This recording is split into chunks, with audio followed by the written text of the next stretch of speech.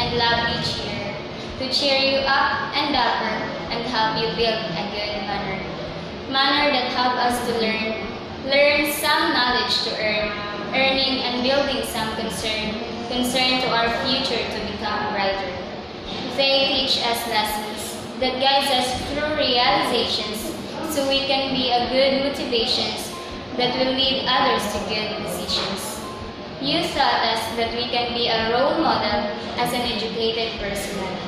So we thank you a lot for everything. Because of you, we found ourselves developing.